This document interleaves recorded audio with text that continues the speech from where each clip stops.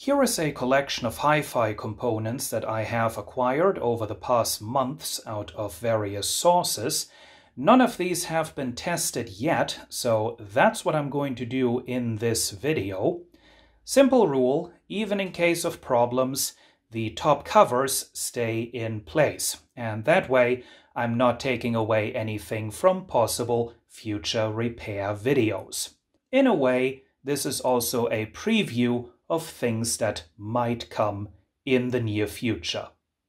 Here is a Technics RST230 dual cassette deck.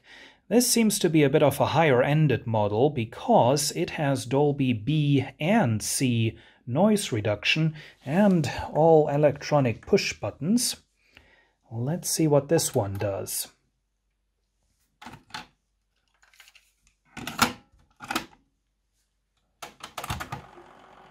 Okay, fast forward works. Uh, and then it didn't work anymore.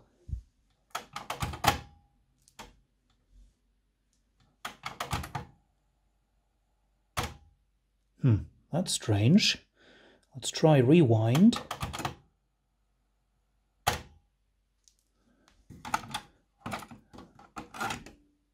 No, cassette has not reached the end.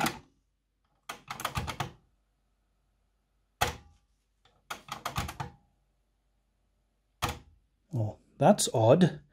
Let's try playback.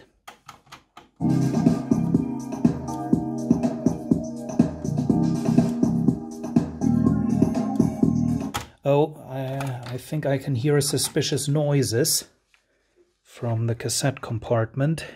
Let's wind the cassette back a little bit and see if it crumbled up the tape.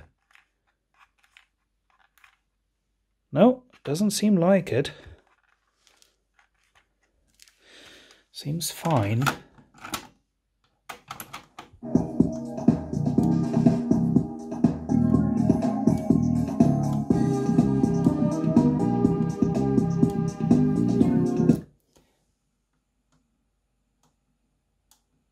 Ah, that's what I was hearing.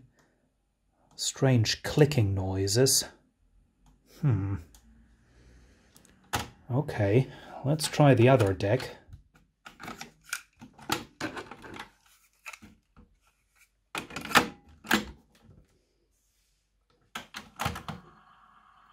Okay, fast forward works. Question is for how long will it work? Rewind works. That's all quite happy. And yep, there is playback.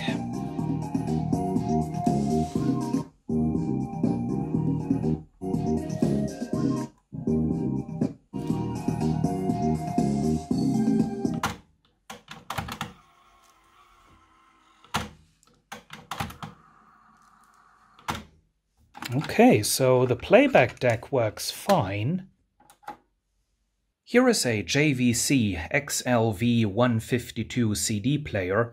I found this at the side of the road. It was covered in mud, most of which I have already cleaned off. It does have this original sticker, the JVC Plus. Well, it would certainly be a plus if this worked, but given the condition that I found this in, I'm not too optimistic. Oh, it does power up. It does open up. But will it read a disk? It will! Wow, and it was quick.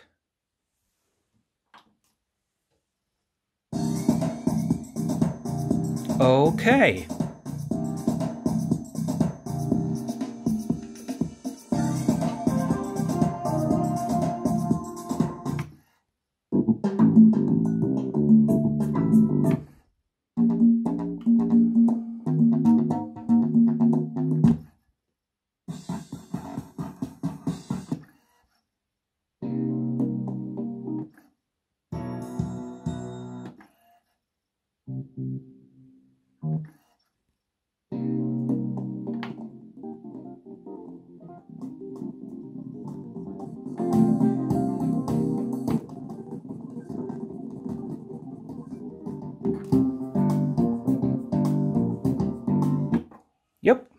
That seems to work. Here is a Telefunken HC800 cassette deck, and this is a bit of a surprise even before I attempt to power this up, because it has HiCom noise reduction. Now, you can tell by the membrane push buttons, this must be a mid-1980s model. That's when those were popular. And I thought Telefunken had dumped the HiCom noise reduction system right after their consumer electronics department was taken over by Thomson in 1983. Well, apparently that's not the case. But let's try to turn this on. Ugh. Well, that doesn't sound nice. We do have a light in the cassette compartment, and let's see. Yep, there is also a light for HiCom noise reduction. Let's put in a cassette and see what happens. Okay, we do have a rather weak fast forward. I assume we won't have any rewind. Nope, not enough power to do a rewind. Let's try playback. No, that doesn't work. Ugh. Okay. So, no playback, and when the auto stop triggers, there is oscillation. That's not good. Here is a Sony CDP710, and this came with the remote control which was full of leaky batteries, so it's going to need some cleaning. But let's see what this one does. Ugh, nasty noise in the speaker. Okay. Oh. Yeah, I think there is a bad belt in the drawer mechanism. Can we, uh, let's see, can we help this a little bit? Ha! There we go. I'm hearing a hum in the speakers. Okay. The hum goes away if you move the RCA cable, so maybe there is some bad solder joints on the output jack. Let's put in uh, CD. And Oh, no, that doesn't look good. Does not read the CD. Let's try again. Okay. There is this hum again.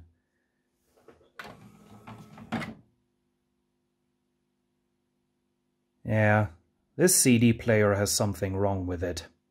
What a shame. Here is an Onkyo TA2051 I'm not very optimistic with this one because I got it from a friend of mine and he said one of the motors is bad, but let's give it a try anyways. Okay.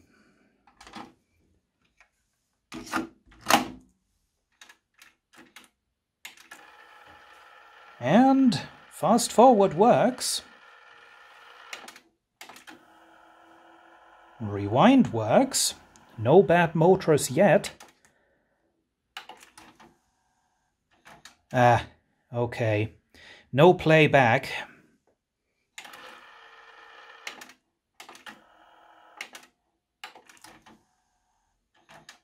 No, no playback. Okay, and oh dear, it pulled out a bit of a tape. Let's bring that back into the cassette. So this is going to need some work. Here is a rather dirty Philips CD600, which seems to have a disc inside, and it has read the disc. That's good. Okay, there is the disc. And you can see by the design of the drawer this does have the high quality CDM4 mechanism, which is good, but that also means it has the soft plastic gear in the loading mechanism. That's not so good. Well, let's put in my test CD.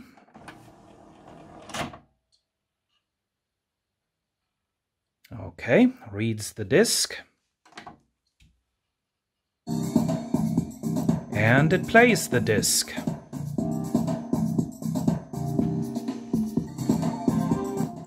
Ah. Skip buttons are up there.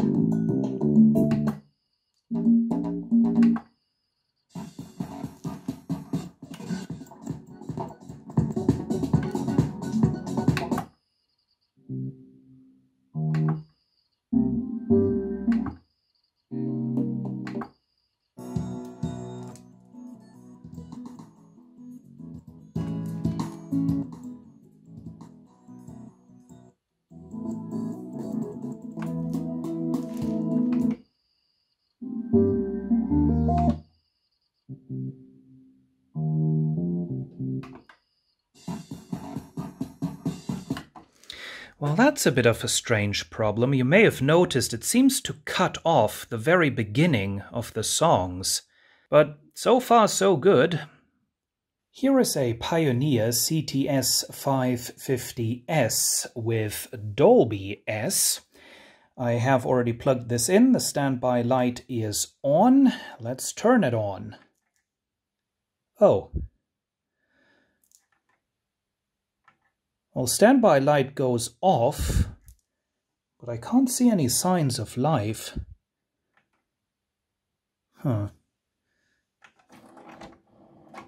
Okay, well, that's a sign of life. Is the display broken? Oh, oh wow. Th this is the dimmest vacuum fluorescent display I've ever seen. That is so faint. Wow. Oh, there is... no. Oh, it, it, it does have a display off button, but that doesn't do anything. That's very odd. So this has some sort of a problem with a vacuum fluorescent display. Well, let's see if we can make this work otherwisely. Well, that's helpful. Got you. Okay.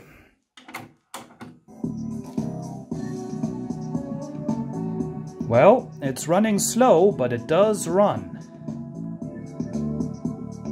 It's running very slow. Fast forward. Works. Rewind works.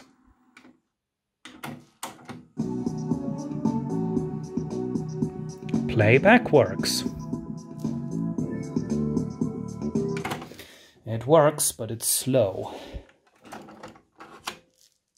Oh, now it stays open. Well, that's nice. Okay, let's put in a cassette to record.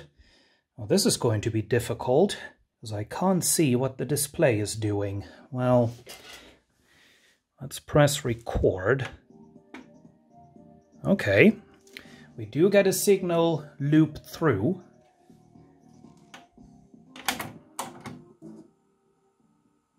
Ha!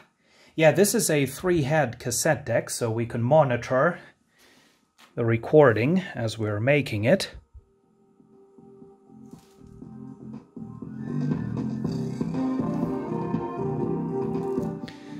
Well, that doesn't sound very convincing.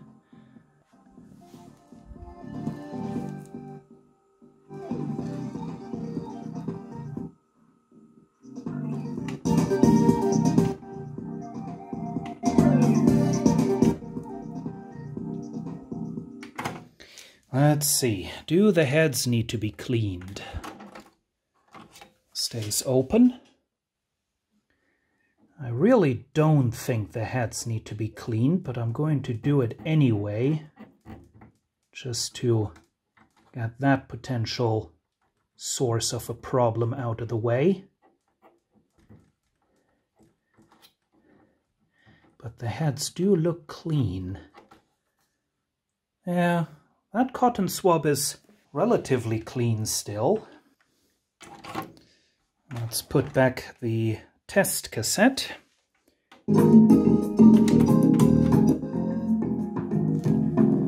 No.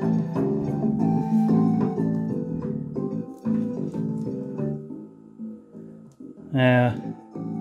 That still sounds just as bad, so... No dirty heads, it is something else. Okay, but I guess this so far is the best working cassette deck out of the bunch. Hmm. Here is a Technics SLP202A CD player. Not very optimistic. I have had two very similar CD players in the past, none of which worked, but let's give this one a chance. Okay. Oh, it has, yep, there is a disc inside. And it plays. Let's not play too much of that. Okay, drawer opens, and...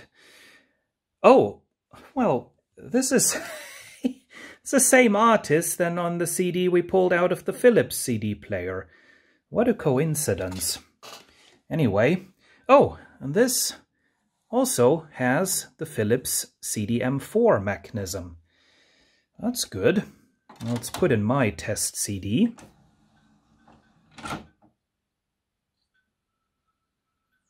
Okay.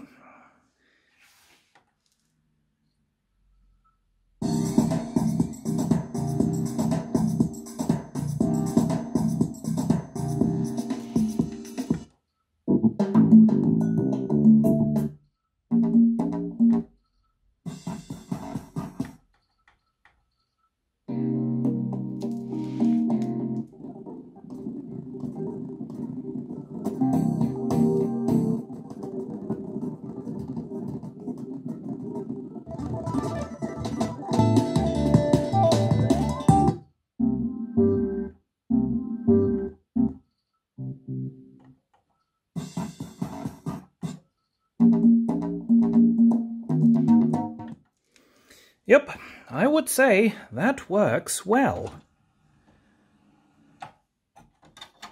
That works very well.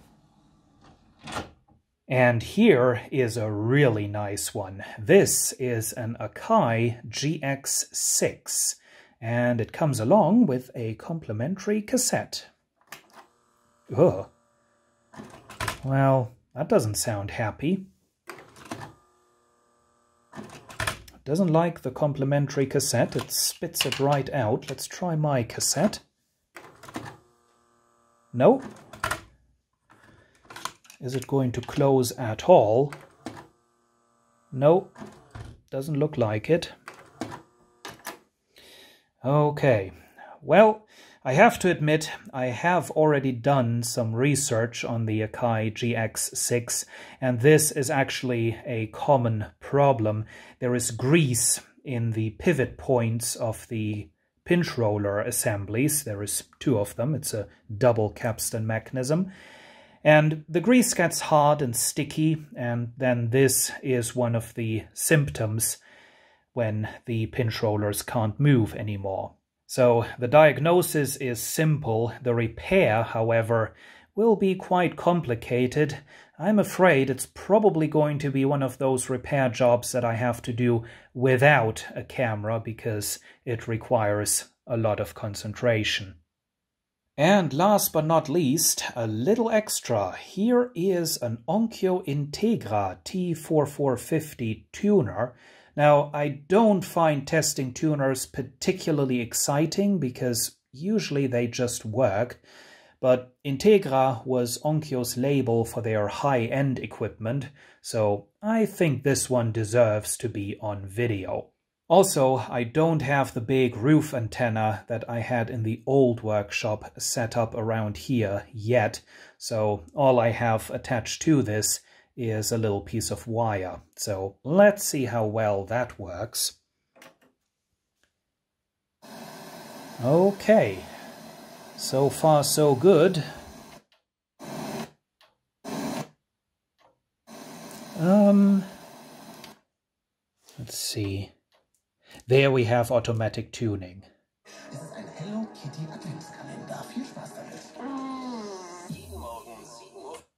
Okay.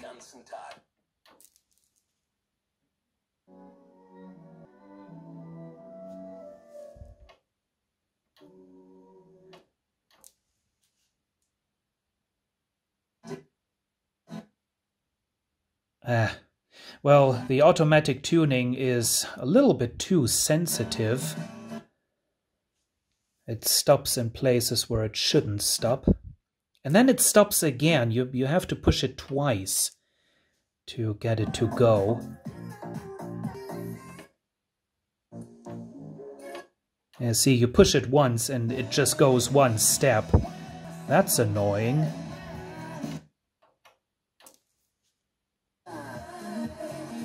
Okay. Handy, also gerne mal reingucken, wie schön diese Alex. Okay, und, äh, well, I guess that's enough of the tuner. FM works, and I've said it before, but I'm going to say it again. Testing the AM band here in Germany is pointless because we don't have any more AM stations. But anyway, that is the Onkyo Integra tuner. Seems to be quite sensitive and it does sound good. And that's it. 10 hi-fi components have been tested. A lot of broken equipment this time, but that only means more videos in the future. So, which one of these components do you like best? Which one would you like to see being repaired first? Tell me in the comments below. Thank you for watching.